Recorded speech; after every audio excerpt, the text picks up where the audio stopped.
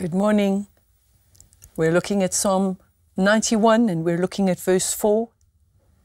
Verse 4 that says, He shall cover, he shall cover thee with his feathers, and under his wings shall thou trust. His truth shall be thy shield and buckler. So, yesterday morning we were looking at some comments about this verse, and um, his truth and faithfulness protect us as we claim His promises and obey Him. The shield here is the large shield that covers the whole person. His truth shall be thy shield. Isn't that amazing? This shield is the large shield that covers the whole person. The Hebrew word for shield means to go around entirely. So the message is clear that those who abide in the Lord are safe. God's servants, this commentary says, are immortal until their work is done. Oh, that was just wonderful for me. God's people are immortal until their work is done.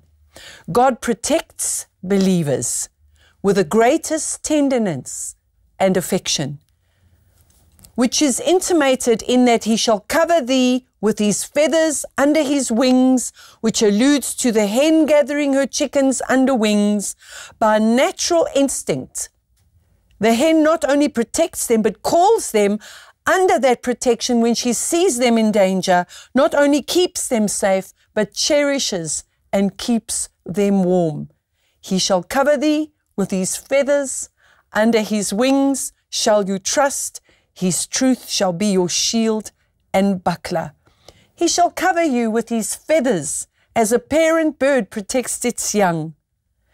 And his truth is his unfailing promises.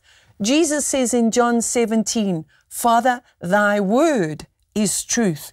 And his word is full of his promises, full of his promises of all of his goodness, of all, and of which protection and comfort and him being a shield and having us under his feathers and under his wings is one of marvelous things.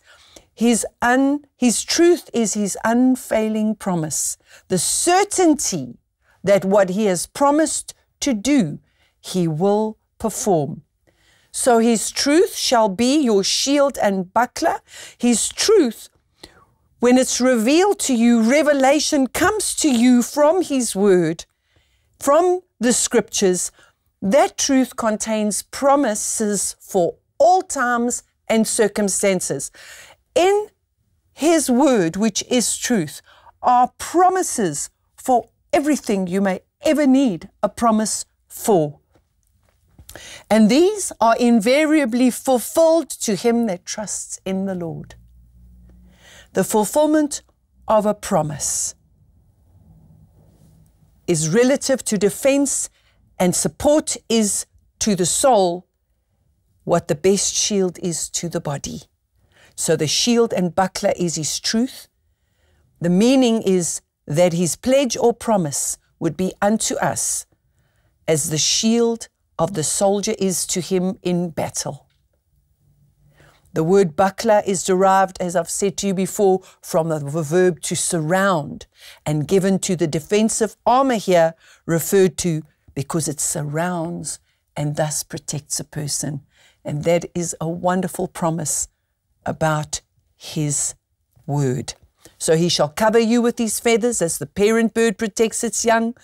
His truth, his unfailing promise, the certainty that what he has promised to do, he will perform. His shield and buckler is his truth. His pledge and promise unto us, as the shield of the soldier is to him in battle. He surrounds us.